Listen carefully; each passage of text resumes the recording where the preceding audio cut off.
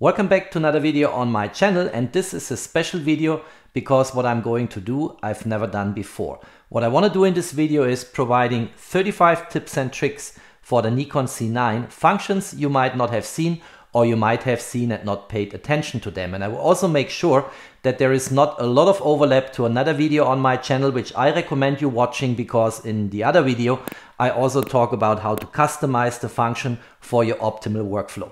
Let's get started.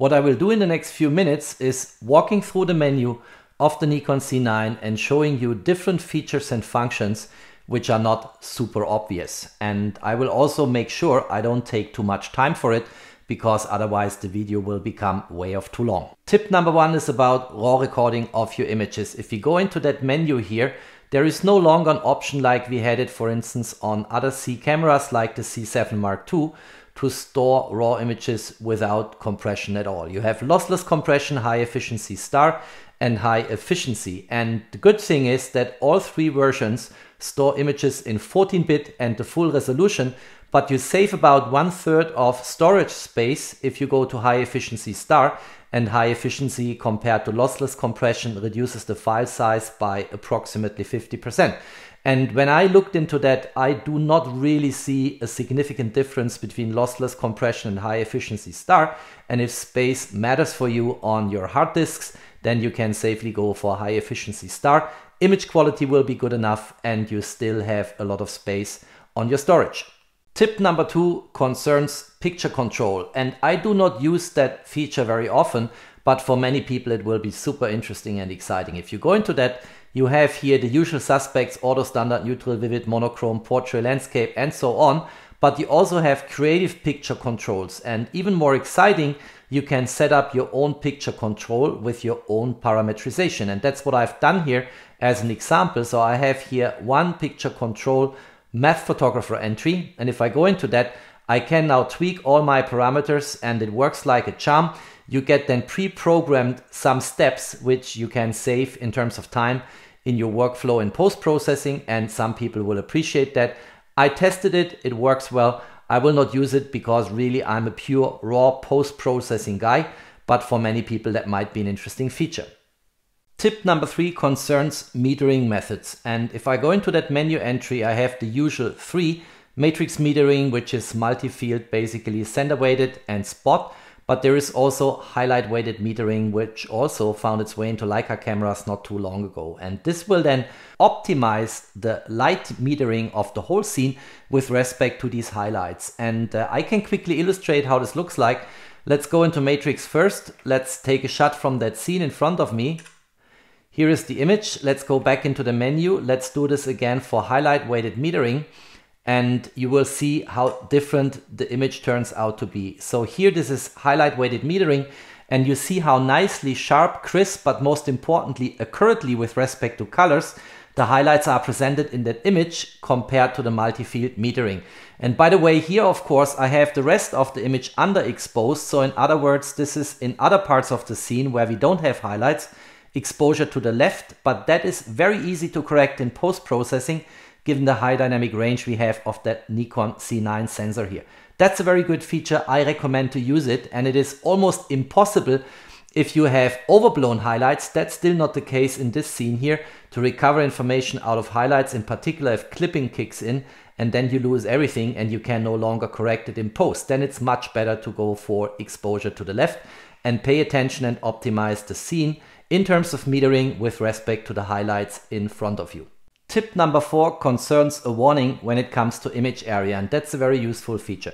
If we go into here, I can choose if I go for full frame or if I go, for instance, for the DX format, which crops into the sensor and you lose basically the advantage of a full frame sensor. And I'm always super nervous and check whether I'm still in FX and not accidentally have set it to DX. That can be avoided from now on because here is a field which you can toggle on and off that's called DX crop alert. And that is super useful. So right now, if I would go here to the DX format, let's do this quickly. I have my usual live view and here in the upper right hand side corner, I see a little symbol saying DX. So I'm in the DX format, but that doesn't catch my attention. If I go now and toggle this on here and say DX crop alert on, and I go back then actually it's flashing here and you see this flashing and that is eye-catching and then I'm aware, pay attention, something is going wrong, you are accidentally in the DX format and not in the FX format. I really appreciate that feature. I think it's good to have it and clearly if you go then back to FX, the flashing will stop and you don't become nervous by looking at that. Tip number five concerns white balance and very often people change white balance only in post, but you have on the Nikon Z9 the option to do this directly in camera. And you have here the usual entries, auto, natural light, sunlight, cloudy, shade, and so on. But all the way down here, you have preset manual, and this would deserve actually an own video to explain it in detail. But what you can do is you can set up here your own preset for white balance. You can also protect it. If I go, for instance, here to fine tune, I can start to tweak my white balance and uh, I can use it later on for my shooting and directly see the result in live view. And that's a very nice feature. I recommend looking into it. I like it. It's good that it is available on the Z9. Tip number six is manual focus ring in autofocus mode. So I'm now here in the menu for fine tuning the settings and you can toggle this on and off. You should have it off if you accidentally tend to get in touch with your focus ring and then your autofocus is ruined. But you should have it on if you want to overrule your autofocus from time to time. And that's something you can do here. So here I focus on the Leica camera in front of me, but I can also use now the focus ring to change my focus and overrule autofocus. One touch on the button brings back the autofocus to where it's supposed to sit. It's a nice feature. Most importantly, you need to know how to control it because some people tend to accidentally touch the focus ring and then focus is basically not where it's supposed to sit. So toggle it on or toggle it off based on your taste and preferences. Number seven also sits under metering and exposure and is easy exposure compensation. Let's switch this off. Let's go back into live view. And now if I want to apply exposure compensation, I have to push the corresponding button here at the top of the camera, hold it, and then turn the wheel here to actually apply my exposure compensation. You can also make your life easier by going into the menu and of course going back here and saying on. And then you no longer have to push that button here.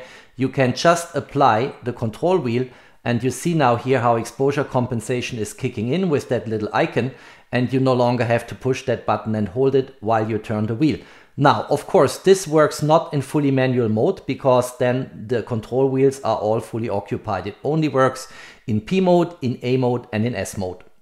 Tip number eight is about the following. You see here around my focus field a circle and someone asked me in the comments, how do you get that circle to be visible? And that's actually very easy. You go into the menu and you have here a menu entry center weighted area. And if I go into that, I can basically say average and then if I go back into live view, that circle is gone. So if you don't have that circle, you know now where in the menu you can hex it back on your screen. If I go here into center weighted area again and go to small, I get a small circle indicating to me what the area is, which is taken into account for the weighting here. And if I go back and go to standard, then this area becomes a bit larger. And again, you see it visualized in that circle here in live view. Quite nice. Tip number nine is matrix metering face detection. And you can toggle this on and off and I typically have it on. And the reason is hidden here in the help menu. If you go into that, it says the camera adjusts exposure according to the brightness of any human faces it detects. And that's quite nice. So you don't have to pay attention to have the correct exposure where you want to have it, namely on the face of a human being. Tip number 10 is continuous shooting speed.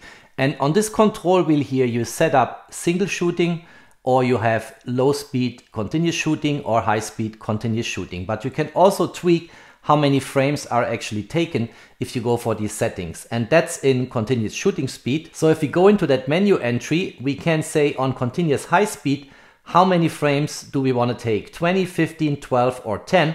And depending on your taste and workflow, you can set this up for your liking. Or on continuous low speed, you can go from 10 frames all the way down to one frame and in this way tweak it to the best setting that works best for you. Tip number 11 is about extended shutter speeds. And normally if you take the camera out of the box and you are in manual mode, you see here my exposure time, I can actually go as long as 30 seconds. Let's quickly check that.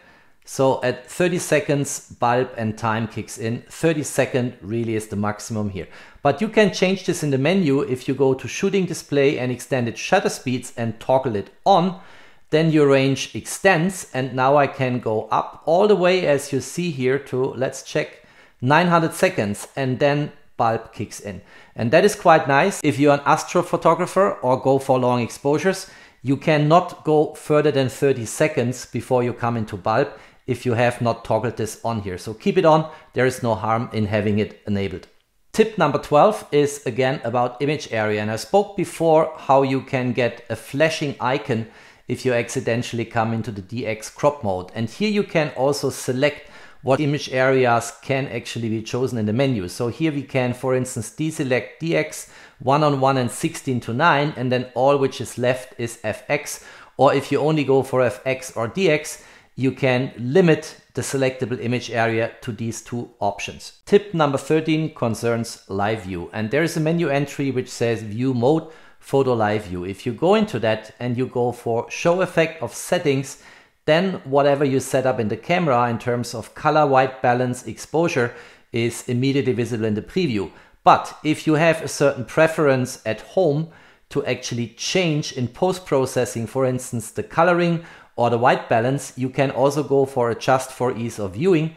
And if you go on that, you can go to auto or you can customize it with respect to white balance, picture control and brightening of shadows. For tip number 14, I switched off the light and only kept on the TV in the background. And if I now go into live view, the scene is pretty dark and uh, you can see a little bit because the TV is still on, but not too much. And here is a mode which is called Starlight View, which is very good for astrophotographers. It artificially increases the brightness of the screen so you have a better orientation for the scene in front of you. Let's look into the normal view as it comes and then let's go into Starlight View. Let's toggle it on and now you will see the image in front of you is much brighter and you get better orientation for your focus and your parameter setting. In addition to Starlight View on the menu, a big help for people who shoot outside in the dark are also the illuminated buttons of the Nikon Z9, which I already showed in my other video. So I can just activate this here and then you get illumination of all essential buttons.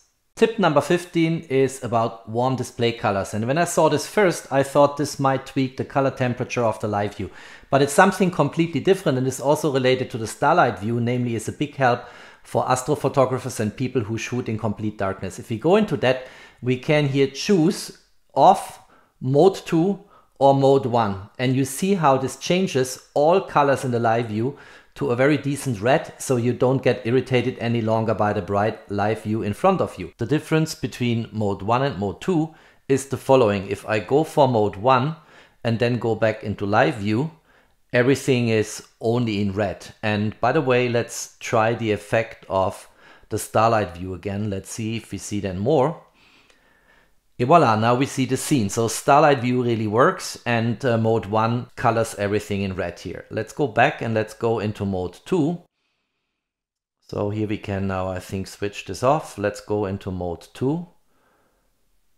And then if we go now into live view, we have the scene in front of us in color and in the real representation of the scene, not everything colored in red, but everything that's in the settings, parameters, all the information I get in the live view on the borders of the display, that is still in red. And you can also tweak, if I go here to mode 1 for instance, still the brightness of the setting, you can go up a little bit or you can go down a little bit, whatever is to your liking. Quite nice and uh, quite thoughtful from Nikon to bring it here for astrophotographers.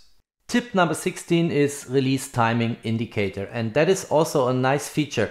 So if this is set off here and I take a shot,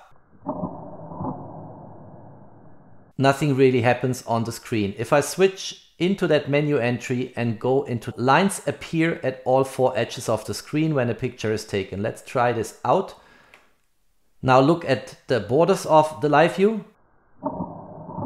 You saw that lines flashing off. I think that's quite interesting. And then here, let's also try type C. Then it's only on the left and right edges of the screen, but not at the top and the bottom when a picture is taken. So let's check this out. Sorry, I don't think I've chosen it. It's still on B. Let's go to C. And now watch the side boundaries and have a look. You saw these lines flashing and that indicates you that a shot is taken. There are four different ways how you can customize this. Quite nice. Tip number 17 concerns the illumination of the buttons. I should say the most essential buttons and the top side LCD display. And clearly you can do this via the on off switch and instead of pushing the on off switch towards off, you push it in the other direction and then the buttons get illuminated as well as the top side LCD. But you can also use the menu to do this. So let's switch it off again. You go into the menu and then you go into shooting and display. And then you have under display somewhere here, let's go there, LCD illumination on off. And if you toggle this now on, then the buttons will be illuminated all the time as well as the top side LCD. Tip number 18 is about grid type and per se there's nothing spectacular here. You have 3.3 grids, 4.4 and so on. But what is interesting, for instance, is if you want to go in post-processing for a 16 to 9 aspect ratio, you can get already in your live view an indication what part of the image will be in that 16 to 9 section later on in post. And if I choose that, let's just choose it here. Typically, if you take the camera out of the box, still nothing is visible here and that might be disappointing. And what you have to do is to go here on custom monitor shooting display. And then if you go into that and you have, for instance, your first display representation here, you'd go to the right hand side and then you see that grid here is not activated. So I need to activate it and now the 16 to 9 aspect ratio box will be visible on the screen. And you see it now indicated here, a very fine line here, if you look into it, where your 16 to 9 aspect ratio would end up in post, even if you shoot here at the full size of the sensor. Tip number 19 is setting up the virtual horizon type. And again, if you are in custom monitor shooting display, and then you have a certain screen set up for the virtual horizon, if you don't have that done, you will not see any change if you tweak virtual horizon type. But if you are in here, you have two types to choose from. One is going across the whole scene and the other one is only on the sidelines, namely the right hand side at the bottom. That is quite useful, I think. It looks much better. Let's just go into here. Let's toggle here on the display button. Now we have the virtual horizon across the whole scene. Let me quickly change that here now into type B and then you will see now it's at the borders. So here, for instance, and here, and uh, you don't have a line across the scene and maybe disturbing your image composition. This is quite useful. Let's toggle back to my normal standard view here and you can tweak this in the menu. Tip number 20 is about control lock in the menu. And there is here a button which can be used to lock settings so that you not accidentally turn them. I've set up this button for something else here namely for picture control. So I get one additional customizable button. But you can lock certain settings in the following way. Let's go into the menu here. Let's say control lock. And now I can choose whether I want to lock my shutter speed or my aperture or my focus point. So let's have a look here. Right now the focus point is free to move. You see it's moving around my Leica camera here. And if I go back into control lock and say focus point lock, now the focus point is locked. So if I go back into live view and want to move my focus point, it says focus point selection is locked. And that's what you can do, of course, also for your aperture and for your shutter speed. Tip number 21 is split screen zoom. And that is a very interesting feature which I have set up here in the I menu. And I'll show you quickly how it works. So if you go into the menu and you go into customize I menu, then you get all the places for the I menu here. And I've chosen here split screen display zoom and that works in the following way. Let me just show this to you because it's a quite ingenious feature. If I go into that, I get the border zoomed and I can also move this around. You see this here in this little representation and see what's magnified. And clearly I can then work with my manual zoom if I have set it up for manual zoom and get an optimized representation of different parts of the image in the way I have set this up here. And that's in particular useful if you have a shallow depth of field and you want to control if in certain areas of the image things are still sharp and in focus in the way you want it to have. Quite nice and very convenient to have this in the I menu set up in the way you can do this in the menu. Tip number 22 concerns playback display options. And when you take the camera out of box and you are in the play menu, then you can toggle here between different screens and there is no information or just a little information. And that is not what I want. I also want to see, for instance, my exposure data. So I can toggle as often as I want. It's the only information I get. And the way to bring this on display is to go to playback display options. And then here you can choose all kinds of different information sets. So I go, for instance, to exposure info, and then I go back into play and then I have basically the image. Then here I have the little information I had before, but now I get basic exposure information. And you can take this to the extreme by choosing a lot of information to be shown here. So you can choose the highlights, the RGB histogram, shooting data. For instance, let's take this one here. Let's go back here into play. And then display gives me also here all kinds of informations which are quite nice to have. And uh, I didn't find this immediately when I got the camera. Now it's set up, I know where to change it. Hopefully it's also helping you. Tip number 23 makes your life easier if in camera you want to delete pictures. And what typically happens is you want to get this deleted from both card slots. And that's what you can choose here. But I would recommend to always go for confirmation required. Then you don't accidentally delete images. But if you have it on no, it's a bit tedious because an image you really want will get stuck on one SD card and will be deleted from the primary one. So I would go here for yes, confirmation required. Tip number 24 is monitor color balance. And here you can calibrate your in-camera live view. And that's quite convenient. If you go to it, you can here start to play and get the color temperature right in the way you will later have it in post-processing and in this way tweak your preview so that it matches your workflow. Tip number 25 is for the following situation. Many people like me, for instance, like to mount non-Nikon lenses with a different mount on this Nikon Z9 camera. And if you want to do that and your adapter has no electronic contacts, no information from your settings on the lens or the parameters of your lens will find its way into metadata. And for this you have a menu entry here, which is non-CPU lens data. And here you can manually fill in the most essential data you want to later have in your metadata. And that is quite convenient for people who shoot non-Nikon lenses with adapters on that Nikon Z9 camera body. Tip number 26 I provided already in my hands-on video of the Nikon Z9, but I want to repeat it here because I think it's important. You have here sensor shield behavior at power off, and you can say the sensor shield closes or it stays open at all times. And I typically have this on closes because when I exchange lenses on the camera body, I'm quite happy that the sensor is protected. So I recommend to keep this at on and then no dust and no particles will get onto your sensor because it's protected by a shield. Tip number 27 is about voice memo options and you have a button here which you can use to drop a voicemail, a quick verbal comment onto an image to remind you what the scene is, what the parameters are, whatever. And you can tweak the options on these voice memos here. So for instance, you can say it's only recording a voice memo while you press and hold that button, or you can also toggle it in a mode where you press start and then you start recording and when you press it again it stops recording and that's quite nice.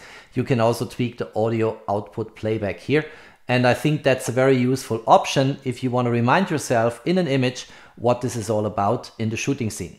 Number 28 is silent mode and you can in camera sounds here tweak all types of noises the camera is doing and because this is an electronic shutter only here you can have this very silent in a moment. And then the question, of course, is why do you have an additional menu entry which says silent mode and you can toggle this on and off? And the reason is simple. What Nikon is saying is that if you have this on, everything else in the camera is also a bit slowed down, a bit more silent, and uh, there will be not so much distraction, for instance, from the noise coming from an autofocus and all of that. It will slow down the camera a little bit, but it will get it almost completely quiet, which might be useful, for instance, in a church and at a wedding. Tip number 29 is about touch controls. And clearly you can use the screen here as a touch screen, but you can also go a bit further. And if I go into touch controls here, First of all, I can enable and disable touch control, so I can toggle this as enabled or playback only or disable it. But there is another feature which I personally find very useful. You can also increase the sensitivity of the touchscreen to your touches by toggling glove mode on. And that is quite useful and works like a charm. Like various other cameras, the Nikon Z9 has GPS built into the camera body. And in order to enable it, you go here onto location data built in, that is an indication.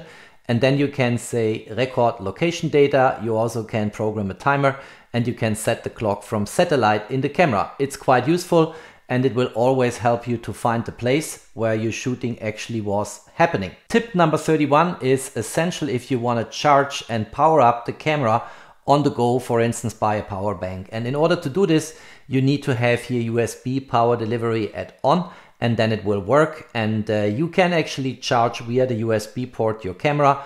You can also charge while shooting.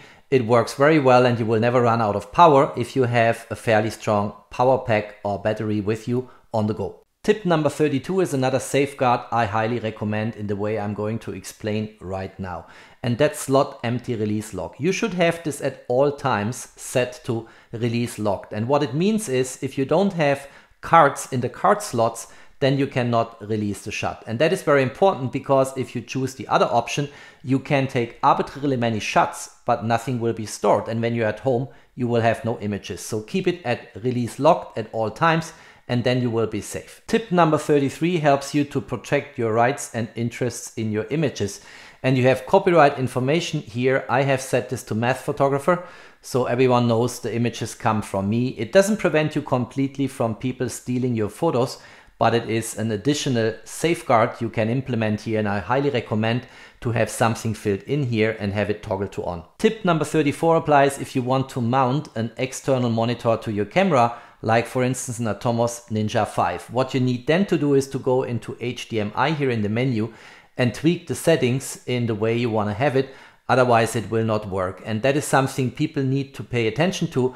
I have experienced it often that people just mount an Atomos and then they are disappointed that the result is not what they expected. So here's the menu entry for tweaking whatever you need to have. Tip number 35 and the last one in this series of tips and tricks is airplane mode in the network menu. And I recommend if you don't plan to connect your camera for the day to a smartphone, a tablet or some other device, then switch the camera into airplane mode because it will save power. And also if you are on travel, you don't have to remind yourself to activate the airplane mode if you go onto a plane. This is it. I'm actually quite proud to have managed to go through 35 tips and tricks. I hope there were some data points interesting and helpful for you and you discovered some new features which you were not before aware of. If you liked that video, don't forget to drop me your thumbs up. Stay tuned on my channel. There's always more to come. Stay safe and healthy and of course, peace out.